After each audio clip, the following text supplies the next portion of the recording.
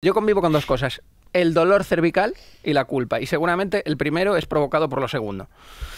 Eh, está siempre metida en mi cabeza como ese amigo aguafiestas eh, de las pelis de adolescentes, montándome una corte internacional cada vez que le hablo mal a alguien, que le levanto la voz a alguien.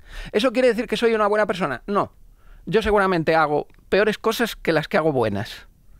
Pero me, me pone un límite, me frena. Eso es lo que creo que hace la culpa. A mí la culpa eh, me ha salvado muchísimas veces de ser un cretino. Y me se ha quedado simplemente en un eh, Burke un poquito egoísta. ¿Vale?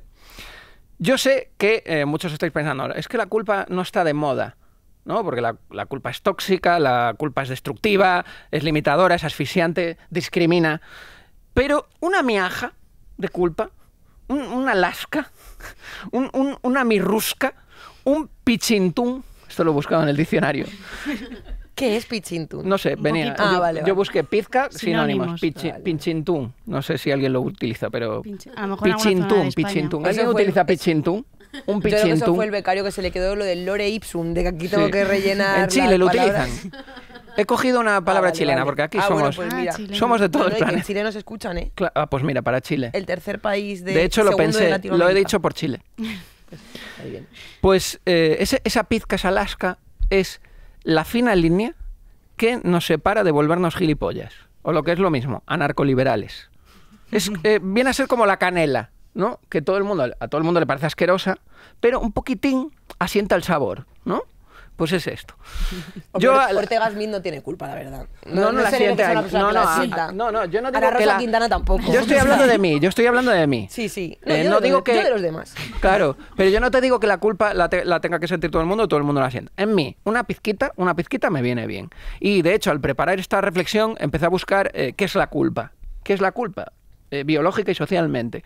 Y es un sentimiento de malestar que está relacionado con los estándares éticos de ese momento. Es decir, el, el contexto sociocultural condiciona mucho la culpa. Porque a lo mejor no es lo mismo una culpa que podamos sentir nosotros que la que sentía un azteca que a lo mejor era porque, oye, pues me debía haber comido el corazón que me ofreció de, del preso y no me lo comí. Esa es la culpa. O un racista que no que se siente que no ha sido lo suficientemente racista. Tendría que, tendría que haberle dicho algo a ese negro, ¿no? Tendría que haberle pegado un poco. Claro, no, eh, la culpa es muy gruesa. Hay que tener cuidado porque a lo mejor te hace sentir mal eh, porque has llegado tarde a un sitio o porque no has ido a misa. Hay que tener cuidado. ¿Y cómo la regulamos? ¿Cómo la regulo yo? ¿Cómo la termorregulo? No lo sé. No sé cómo lo hago. Eh, voy cambiándola. Eh, creo que mucha gente diría, no, hay que leer, hay que ver películas y viajar. Y igual no, porque igual Hitler viajaba, veía películas y le Y pin- encantaba y Chaplin pintaba, y pintaba. y pintaba y, y era Hitler. Entonces, pero sí que creo que hay que analizarla.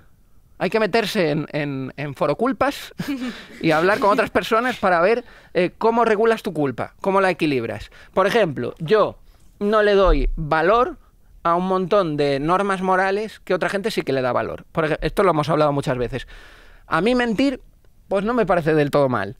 Claro, Porque depende del creo Hombre, a mí contexto. tampoco. depende del contexto, pero me parece que es una buena manera de que dos personas se vayan felices a casa. Por ejemplo, si yo te digo, tu libro me ha encantado, Sí.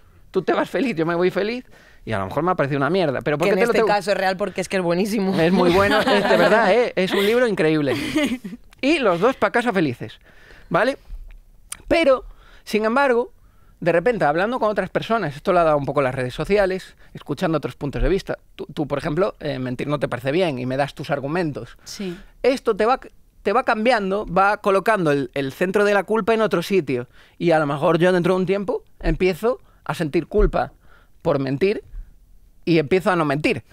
Porque la culpa al final es para que cambies, ¿no? Es ahí te, es- te atizan. Sí, te están dando A ver, depende del contexto, ¿no? Depende del sí, lo hablamos contexto, el otro todo. día con Ángel Martín, que era como que hay veces que, sí- que, que cuando yo le dije, hay una fina línea entre, entre ser honesto y decir la verdad, que decía, bueno, es- o sea, entre ser mal educado y ser honesto, decía, bueno, no hay una fina línea, que son cosas diferentes. Es muy claro, complejo, pues eso, es de muy que es complejo. verdad que hay veces que es que la mentira se requiere para que haya concordia social. Claro. Es Pero necesario. si alguien te argumenta que es mejor ser honesto, te puede provocar luego culpa. A mí me han cambiado muchísimo. A vosotros nos ha pasado que os, que os cambian el peso de la culpa, pero no digo solo en una dirección de, de- de empezar a tenerla, sino de perderla. Nosotros hemos, ¿cuántas veces nos hemos sentido culpables en el pasado por cosas que ahora nos dan igual? ¿No? Pues eso, hay que estar todo el rato regulándola, analizándola, para calibrarla. Entonces, yo he decidido que me quedo con la culpa de lo del corneto.